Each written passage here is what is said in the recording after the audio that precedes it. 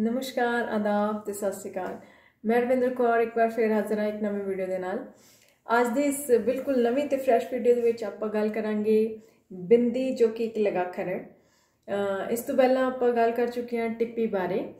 ਟਿੱਪੀ ਵੀ ਜਿਹੜਾ ਇੱਕ ਲਗਾਖਰ ਹੈ, ਯਾਨੀ ਇੱਕ ਅੱਧਾ ਅੱਖਰ ਜੋ ਕਿ ਕਿਸੇ ਹੋਰ ਅੱਖਰ ਦੇ ਨਾਲ ਲੱਗਦਾ ਉਹਨੂੰ ਆਪਾਂ ਲਗਾਖਰ ਕਹਿੰਦੇ ਆ ਤੇ ਜਿਵੇਂ ਕਿ ਆਪਾਂ ਪਹਿਲਾਂ ਪਿਛਲੀ ਵੀਡੀਓ ਦੇ ਵਿੱਚ ਗੱਲ ਕਰ ਚੁੱਕੇ ਹਾਂ ਕਿ ਜਿਹੜੀ ਟਿੱਪੀ ਹੈ, ਉਹ ਚਾਰ ਮਾਤਰਾਵਾਂ ਦੇ ਨਾਲ ਲੱਗਦੀ ਹੈ ਤੇ ਜਿਹੜੀ ਬਿੰਦੀ ਆ, ਉਹ 6 ਮਾਤਰਾਵਾਂ ਦੇ ਨਾਲ ਲੱਗਦੀ ਹੈ।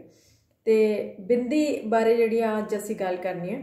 ਤੇ ਬਿਨਾ ਕਿਸੇ ਗੱਲ ਦੀ ਵੇਟ ਕੀਤੇ ਆਪਾਂ ਸ਼ੁਰੂ ਕਰਦੇ ਹਾਂ ਅੱਜ ਦੀ ਕਲਾਸ ਤੇ ਅੱਜ ਦੀ ਜਿਹੜੀ ਕਲਾਸ ਹੈ, ਉਹ ਬਿੰਦੀ ਬਾਰੇ ਹੈ। ਮੈਂ ਇੱਧਰ ਉੱਧਰ ਜ਼ਿਆਦਾ ਨਹੀਂ ਜਾ ਰਹੀ, ਕਿਉਂਕਿ ਜਿਹੜਾ ਇਹ ਥੋੜਾ ਜਿਹਾ ਅੱਜ ਮਾਤਰਾਵਾਂ ਜਿਨ੍ਹਾਂ ਦੇ ਨਾਲ ਬਿੰਦੀ ਲੱਗਦੀ ਹੈ, ਉਹ 6 ਨੇ। ਇੱਕ ਕੰਨਾ, ਬਿਹਾਰੀ, ਲਾਂ, ਦੁਲਾਵਾਂ, ਔਂਕੜ ਤੇ ਦੁਲੈਂਕੜ। ਠੀਕ ਹੈ, ਕੰਨਾ ਤੁਸੀਂ ਜਾਣਦੇ ਹੋ ਆਦੀ ਮਾਤਰਾ ਹੁੰਦੀ ਹੈ। ਤੇ ਬਿਹਾਰੀ ਜਿਹੜੀ ਆ, ਉਹ ਵੱਡੇ ਈ ਦੀ ਮਾਤਰਾ, ਲਾਂ ਛੋਟਾ ਏ, ਦੁਲਾਵਾਂ ਵੱਡਾ ਏ, ਔਂਕੜ ਜਿਹੜਾ ਹੈ, ਉਹ ਛੋਟੇ ਓ ਦੀ ਮਾਤਰਾ ਹੁੰਦੀ ਹੈ। ਫਿਰ ਔਂਕੜ ਜਿਹੜਾ ਛੋਟਾ ਉਹ ਦੁਲੈਂਕੜ ਜਿਹੜਾ ਵੱਡਾ ਉਹ ਹੁੰਦਾ ਠੀਕ ਹੈ? ਮਾਤਰਾ ਵੀ ਇਹਦੇ ਨਾਲ ਮੈਂ ਜਿਹੜੀ ਤੁਹਾਨੂੰ ਲਗਾ ਕੇ ਦਿਖਾ ਦੇਣੀ ਆ ਇਹ ਹੈਗੀ ਹੈ ਕੰਨਾ, ਠੀਕ ਹੈ? ਬਿਹਾਰੀ, ਵੱਡਾ ਈ, ਲਾ, ਛੋਟਾ ਏ, ਦੁਲਾਵਾ, ਵੱਡਾ ਏ, ਠੀਕ ਹੈ? ਦੋ ਮਾਤਰਾਵਾਂ ਉੱਪਰ। ਔਂਕੜ, ਠੀਕ ਹੈ? ਉਹਦੀ ਮਾਤਰਾ ਇਸ ਤਰ੍ਹਾਂ। ਤੇ ਦੁਲੈਂਕੜ ਇਸ ਤਰ੍ਹਾਂ। ਠੀਕ ਹੈ? ਇਹ ਜਿਹੜੀਆਂ ਮਾਤਰਾਵਾਂ ਨੇ, ਇਹਨਾਂ ਦੇ ਨਾਲ ਅਸੀਂ ਬਿੰਦੀ ਦੀ ਜਿਹੜੀ ਵਰਤੋਂ ਹੈ, ਉਹ ਕਰਦੇ ਹਾਂ। ਹੁਣ ਆਪਾਂ ਦੇਖਣਾ ਹੈ ਕਿ ਕਿਸ ਤਰ੍ਹਾਂ ਜਿਹੜੀ ਹੈ ਬਿੰਦੀ, ਉਹ ਇਹਨਾਂ ਮਾਤਰਾਵਾਂ ਦੇ ਨਾਲ ਅਸੀਂ ਕਿੱਦਾਂ ਪਾਵਾਂਗੇ। ਕੰਨਾ ਜਿਹੜਾ ਹੈ, ਕੰਨੇ ਦੇ ਜਿਹੜੇ ਬਿਲਕੁਲ ਲਾਈਨ ਹੈ, ਉਹਦੇ ਉੱਤੇ ਬਿੰਦੀ ਆ ਜਾਏਗੀ।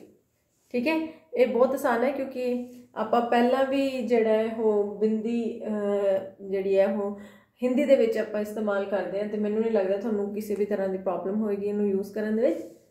ਫਿਰ ਜਿਹੜਾ ਬਿਹਾਰੀ ਮਾਤਰਾ ਹੈ, ਉਹਦੇ ਵਿੱਚ ਵੀ ਜਿੱਥੇ ਮਾਤਰਾ ਖਤਮ ਹੁੰਦੀ ਹੈ, ਉੱਥੇ ਤੁਸੀਂ ਬਿੰਦੀ ਲਾਉਣੀ ਹੈ। ਇਸੇ ਤਰ੍ਹਾਂ ਲਾਂ 'ਚ ਵੀ ਮਾਤਰਾ ਤੋਂ ਬਾਅਦ ਬਿੰਦੀ ਆਏਗੀ। ਦੁਲਾਵਾਂ 'ਚ ਵੀ ਮਾਤਰਾ ਤੋਂ ਬਾਅਦ ਬਿੰਦੀ ਆਏਗੀ। ਇਸੇ ਤਰ੍ਹਾਂ ਔਂਕੜ ਵੀ ਮਾਤਰਾ ਤੋਂ ਬਾਅਦ ਬਿੰਦੀ ਲੈਂਦਾ ਤੇ ਦੁਲੈਂਕੜ ਵੀ ਮਾਤਰਾ ਤੋਂ ਬਾਅਦ ਬਿੰਦੀ ਲੈਂਦਾ ਠੀਕ ਹੈ? ਇਹ ਤੇ ਹੋ ਗਿਆ ਤਰੀਕਾ ਵੀ ਆਪਾਂ ਕਿਸ ਤਰ੍ਹਾਂ ਜਿਹੜੀ ਬਿੰਦੀ ਹੈ, ਉਹਨੂੰ ਕਿੱਦਾਂ ਮਾਤਰਾ ਦੇ ਨਾਲ ਲਾਉਣਾ ਹੁਣ ਅਸੀਂ ਇਹ ਦੇਖਣਾ ਹੈ ਵੀ ਮਾਤਰਾ ਜਿਹੜੀ ਹੈ, ਉਹ ਕਿਸ ਤਰ੍ਹਾਂ ਉਹਦੀ ਸਾਊਂਡ ਜਿਹੜੀ ਉਹ ਪ੍ਰੋਡਿਊਸ ਹੁੰਦੀ ਹੈ ਤੇ ਉਹ ਕਿੱਥੇ ਲੱਗਣੀ ਹੈ? ਮਾਤਰਾ ਤੋਂ ਕਿਹੜੀ ਮਾਤਰਾ ਤੋਂ ਬਾਅਦ ਲੱਗਣੀ ਹੈ? ਇਹ ਅਸੀਂ ਦੇਖਣਾ ਹੈ। ਚਲੋ ਫਿਰ ਸ਼ੁਰੂ ਕਰਦੇ ਹਾਂ ਕਲਾਸ ਹਾਂਜੀ, ਅੱਜ ਦੀ ਜਿਹੜੀ ਮਾਤਰਾ ਜਾਂ ਲਗਾਖਰ ਹੈ ਬਿੰਦੀ ਜਦ ਆਪਾਂ ਕੰਨੇ ਦੇ ਨਾਲ ਇਸਤੇਮਾਲ ਕਰਦੇ ਆ ਤਾਂ ਤੁਸੀਂ ਧਿਆਨ ਨਾਲ ਜਿਹੜਾ ਉਹ ਸੁਣਨਾ ਹੈ। ਜਿਵੇਂ ਮੈਂ ਅੱਖਰ ਲਿਆ ਹੈ, ਗਾਂ। ਨਾਸਕ ਧਵਨੀ ਜਿਹੜੀ ਹੈ ਉਹ ਨਿਕਲੇਗੀ ਇੱਥੇ। ਗਾਂ, ਯਾਨੀ ਕਿ ਕਾਓ ਹੈ ਨਾ ਕਾਓ ਕਹਿੰਦੇ ਆਪਾਂ ਗਾਂ ਨੂੰ। ਤੇ ਗਾਏ ਜਿਹੜਾ ਹੈ, ਉਹ ਸ਼ਬਦ ਗਾਏ, ਹਿੰਦੀ ਦੇ ਵਿੱਚ ਇਸਤੇਮਾਲ ਹੁੰਦਾ ਤੇ ਇੱਥੇ ਤੁਸੀਂ ਗਾਂ ਜਿਹੜਾ ਉਹ ਲਫ਼ਜ਼ ਇਸਤੇਮਾਲ ਕਰਨਾ ਹੈ। ਮਾਂ। ਮਾਂ ਯਾਨੀ ਮੰਮੀ, ਮਦਰ, ਠੀਕ ਹੈ? ਤੇ ਇੱਕ ਅੱਖਰ ਹੋਰ ਜਿਹੜਾ ਮੈਂ ਲੈ ਰਹੀ ਹਾਂ, ਉਹ ਹੈਗਾ ਗੁ ਆਂਡੀ ਗੁਆਂਡੀ ਗੁਆਂਡੀ ਯਾਨੀ ਨੇਬਰ। ਤੁਹਾਡੇ ਨਾਲ ਜਿਹੜੇ ਲੋਕ ਰਹਿੰਦੇ ਆ, ਤੁਹਾਡੇ ਘਰ ਦੇ ਨਾਲ ਜਿਹੜੇ ਲੋਕ ਰਹਿੰਦੇ, ਉਹਨਾਂ ਨੂੰ ਆਪਾਂ ਗੁਆਂਢੀ ਕਹਿੰਦੇ ਆ। ਤੇ ਗੁਆਂਢੀ ਜਿਹੜਾ ਆਂ ਦੀ ਸਾਊਂਡ ਜਿਹੜੀ ਲੈ ਰਿਹਾ, ਉਹ ਬਿੰਦੀ ਲਏਗਾ। ਠੀਕ ਹੈ? ਤੇ ਹੁਣ ਆਪਾਂ ਚੱਲਦੇ ਆ ਬਿਹਾਰੀ ਮਾਤਰਾ ਵੱਲ। ਮੈਂ ਦੋ ਦੋ ਤਿੰਨ ਤਿੰਨ ਲਫ਼ਜ਼ ਜਿਹੜੇ ਉਹ ਹਰ ਇੱਕ ਮਾਤਰਾ ਦੇ ਲੈ ਰਹੇ ਹਾਂ। ਕਿਉਂਕਿ ਜਿਹੜੀ ਕਲਾਸ ਹੈ, ਉਹ, ਉਹਦਾ ਟਾਈਮਿੰਗ ਜਿਹੜਾ, ਉਹ ਥੋੜਾ ਸ਼ਾਰਟ ਹੁੰਦਾ।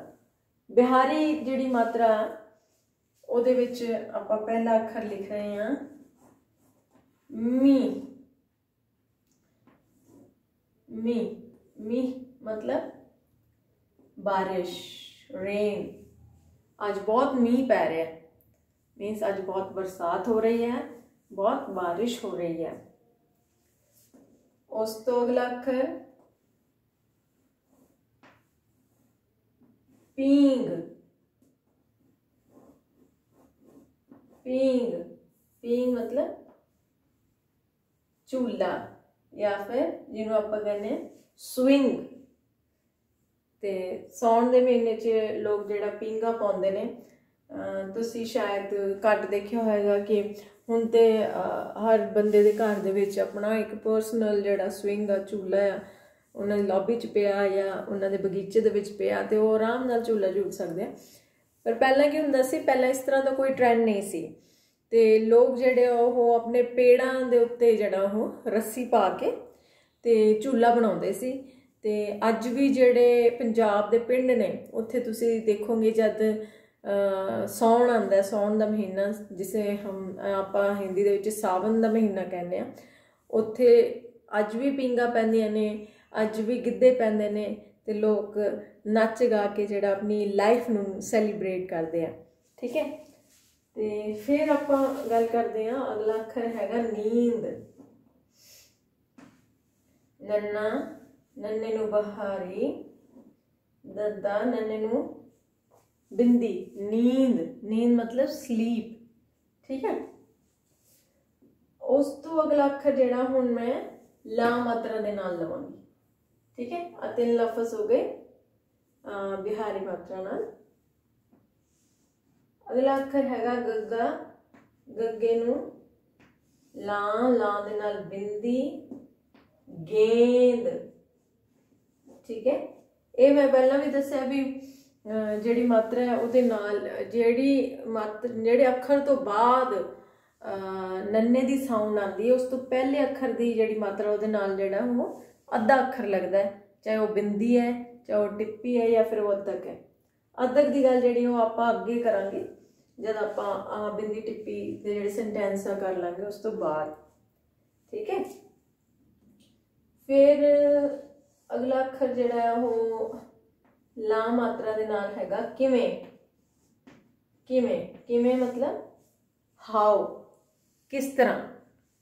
ਠੀਕ ਹੈ? ਕਿਵੇਂ ਮਤਲਬ ਹਾਉ ਜਾਂ ਕਿਸ ਤਰ੍ਹਾਂ। ਫਿਰ ਆਪਾਂ ਗੱਲ ਕਰਦੇ ਹਾਂ ਇਹ ਜਿਹੜਾ ਮੈਂ ਹੈ ਇਥੋਂ ਰਿਮੂਵ ਕਰ ਰਹੀ ਹਾਂ ਥੋੜਾ ਜਿਹਾ ਇਰੇਸ ਕਰ ਰਹੀ ਹਾਂ। ਮੈਨੂੰ ਲੱਗਦਾ ਹੈ ਕਿ ਤੁਸੀਂ ਇਹ ਸਾਰੇ ਜਿਹੜੀ ਮਾਤਰਾਵਾਂ ਨੇ, ਉਹ ਨਾਲ ਦੀ ਨਾਲ ਲਿਖ ਰਹੇ ਹੋ ਆਪਣੀ ਨੋਟਬੁੱਕ ਦੇ ਵਿੱਚ।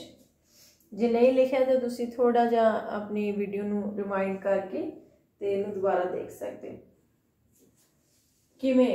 ਹਾਉ ਕੇਂਦਰ। ਕੇਂਦਰ ਕੇਂਦਰ ਮਤਲਬ centre. This is the center of uh, culture and ਅਲੱਗ-ਅਲੱਗ ਤਰ੍ਹਾਂ ਦੇ ਜਿਹੜੇ ਸੈਂਟਰ ਬਣੇ ਹੁੰਦੇ ਨੇ ਕਿ ਜਿੱਥੇ ਜਾ ਕੇ ਤੁਸੀਂ ਇੰਡੀਅਨ ਹੈਰੀਟੇਜ ਦੇਖ ਸਕਦੇ ਹੋ ਜਿੱਥੇ ਜਾ ਕੇ ਤੁਸੀਂ ਕਿਸੇ ਤਰ੍ਹਾਂ ਦਾ ਕੋਈ ਪਾਰਟਿਕੂਲਰ ਕਲਚਰ ਦੇਖ ਸਕਦੇ ਹੋ ਠੀਕ ਹੈ? ਉਹਨੂੰ ਆਪਾਂ ਕੇਂਦਰ ਕਹਿੰਦੇ ਆ ਸੈਂਟਰ ਠੀਕ ਹੈ? ਕੇਂਦਰ ਬਿੰਦੂ ਸੈਂਟਰ ਪੁਆਇੰਟ ਫਿਰ ਆਪਾਂ ਅਗਲੀ ਗੱਲ ਜਿਹੜੀ ਕਰ ਰਹੇ ਹਾਂ ਅਗਲਾ ਅੱਖਰ। ਹੁਣ ਮੈਂ ਜਿਹੜਾ ਲੈ ਰਹੀ ਹੁਣ ਕਿਉਂਕਿ ਤਿੰਨ ਅੱਖਰ ਜਿਹੜੇ ਉਹ ਲਾ ਦੇ ਨਾਲ ਹੋ ਗਏ ਮੈਂ ਦੁਲਾਵਾਂ ਵੱਲ ਜਾਵਾਂਗੀ। ਮੈਂ ਮੈਂ ਮੈਂ ਮੀਨਸ ਆਈ ਮੈਂ ਰੋਜ਼ ਸੈਰ ਕਰਦੀ ਹਾਂ। ਮੈਂ ਬਹੁਤ ਪੜ੍ਹਾਈ ਕਰਦੀ ਹਾਂ। ਮੈਂ ਬਹੁਤ ਉਦਾਸ ਹਾਂ। ਮੈਂ ਜਿਹੜਾ ਅੱਖਰ ਹੈ ਉਹ ਹੈਗਾ ਆਈ ਠੀਕ ਹੈ? ਫਿਰ ਜਿਹੜਾ ਅੱਖਰ ਮੈਂ ਲਿਆ ਉਹ ਦੁਲਾਵਾਂ ਨਾਲ। ਕੈਂਚੀ। ਕੈਂਚੀ ਕੈਂਚੀ। ਇਹ ਅੱਖਰ ਜਿਹੜੇ ਉਹ ਘੱਟ ਸੁਣਨ ਨੂੰ ਮਿਲਦੇ ਅੱਜ ਕੱਲ ਤੇ ਬੱਚੇ ਕਹਿੰਦੇ ਸੀਜ਼ਰ। ਮੈਮ, ਸੀਜ਼ਰਸ ਨਹੀਂ ਹੈ ਮੇਰੇ ਪਾਸ। ਆਈ ਡੋਨਟ ਹੈਵ ਸੀਜ਼ਰਸ ਮਤਲਬ ਕੈਂਚੀ, ਸੀਜ਼ਰਸ, ਜਿਹਨੂੰ ਆਪਾਂ ਜਿਹਦੇ ਨਾਲ ਕੋਈ ਚੀਜ਼ ਕੱਟਦੇ ਆ ਤੇ ਫਿਰ ਆਪਾਂ ਗੱਲ ਕਰਾਂਗੇ ਅਗਲਾ ਅੱਖਰ ਜਿਹੜਾ ਇਹ ਇੱਕ ਜਾਨਵਰ ਦਾ ਨਾਮ ਹੈ, ਗੈਂਡਾ। ਇੱਕ ਵਿਸ਼ਾਲ ਕਾਏ ਜਾਨਵਰ, ਗੈਂਡਾ। ਠੀਕ ਹੈ? ਗੈਂਡਾ। ਗੈਂਡਾ, ਤੁਸੀਂ ਪਹਿਲਾਂ ਵੀ ਜਾਣਦੇ ਹੋ। ਇੱਕ ਤਰ੍ਹਾਂ ਦਾ ਇੱਕ ਬਹੁਤ ਵੱਡਾ ਜਾਨਵਰ ਹੁੰਦਾ ਜਿਹਦੇ ਨੱਕ ਤੇ ਜਿਹੜਾ ਸਿੰਘ ਵੀ ਦੇਖਿਆ ਜਾ ਸਕਦਾ ਫਿਰ ਆਪਾਂ ਅਗਲਾ ਅੱਖਰ ਜਿਹੜਾ ਲੈਣੇ ਆ ਬੈਂਗਣ। ਬੈਂਗਣ।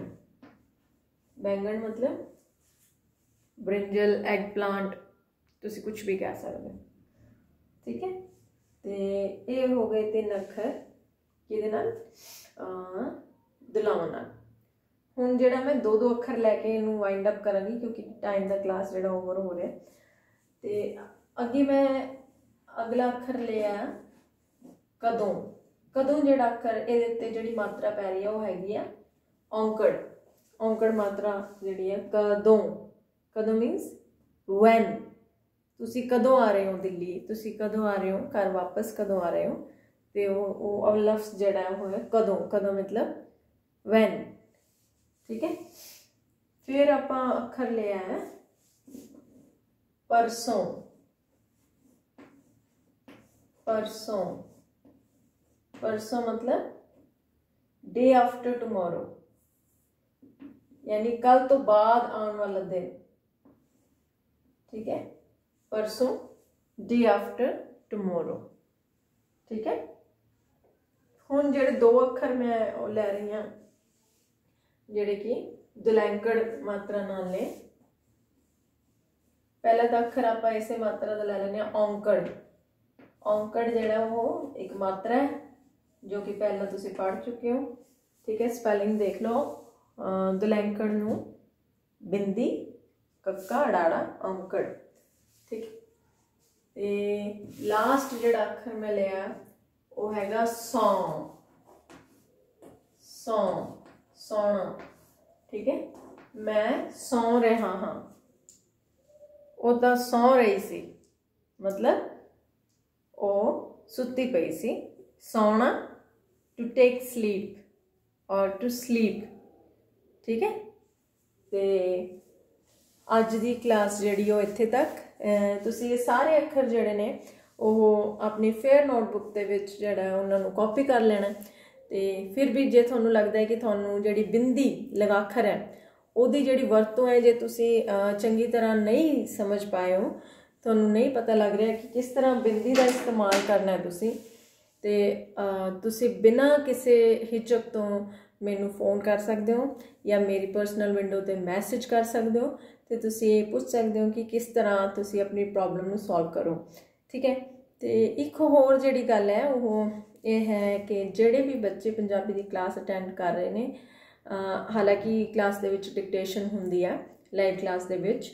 ਤੇ ਹੁਣ ਜਿਹੜਾ ਆਪਾਂ, ਜਿਹੜਾ ਸਾਡਾ ਸਿਲੇਬਸ ਹੈ, ਉਹਦੇ ਅਕੋਰਡਿੰਗ ਜੋ ਅਸੈਸਮੈਂਟ 4 ਤੁਹਾਡੀ ਹੋਣੀ ਉਹਦੇ ਵਿੱਚ ਇੱਕ ਪੰਜਾਬੀ ਦਾ ਪੇਪਰ ਵੀ ਹੈ। ਉਹਦੇ 'ਚ ਜੋ ਸਿਲੇਬਸ ਆ ਰਿਹਾ, ਉਹਦੀ ਰਿਵੀਜ਼ਨ ਹੁਣ ਜਿਹੜੀ ਉਹ ਸ਼ੁਰੂ ਹੋ ਜਾਣੀ ਹੈ, ਇਸ ਲਈ ਤੁਸੀਂ ਪਲੀਜ਼ ਕਲਾਸ ਨੂੰ ਮਿਸ ਨਾ ਕਰੋ, ਤਾਂ ਕਿ ਤੁਸੀਂ ਆਪਣਾ ਜਿਹੜਾ ਇੱਕ ਗ੍ਰਾਫ ਹੈ, ਇੱਕ ਜਿਹੜਾ ਬਲੂਪ੍ਰਿੰਟ ਹੈ ਤੁਹਾਡਾ ਜਿਹੜਾ ਪੇਪਰ ਆ ਰਿਹਾ, ਉਹਦਾ ਉਹ ਤੁਸੀਂ ਹਾਸਲ ਕਰ ਸਕੋ। ਤੇ ਅੱਜ ਦੀ ਕਲਾਸ ਜਿਹੜੀ ਉਹ ਇੱਥੇ ਤੱਕ। ਮੈਂ ਉਮੀਦ ਕਰਦੀ ਹਾਂ ਕਿ ਤੁਹਾਨੂੰ ਇਹ ਪੰਜਾਬੀ ਭਾਸ਼ਾ ਦੇ ਜਿਹੜੀ ਮਾਤਰਾਵਾਂ ਨੇ, ਉਹ ਸਮਝ ਆ ਰਹੀਆਂ ਨੇ। ਤੁਸੀਂ ਆਪਣੀ ਇਸ ਭਾਸ਼ਾ ਨੂੰ ਘਰੇ ਵੀ ਵਰਤਦੇ ਹੋ ਤੇ ਤੁਸੀਂ ਇਸ ਨਾਲ ਜੁੜੇ ਰਹਿਣ ਦਾ ਜਿਹੜਾ ਫੈਸਲਾ, ਉਹਦੇ ਉੱਤੇ ਤਤਪਰ ਹੋ। ਤੇ ਇਸ ਲਈ ਤੁਹਾਡਾ ਬਹੁਤ ਬਹੁਤ ਧੰਨਵਾਦ। ਤੇ ਮਿਲਦੇ ਹਾਂ ਫਿਰ ਇੱਕ ਨਵੀਂ ਕਲਾਸ ਦੇ ਵਿੱਚ। ਨਵੇਂ ਜਜ਼ਬੇ ਤੇ ਨਵੀਂ ਉਤਸ਼ਾਹ ਨਾਲ। ਉਦੋਂ ਤੱਕ ਸ਼ਬਕ ਹੈ।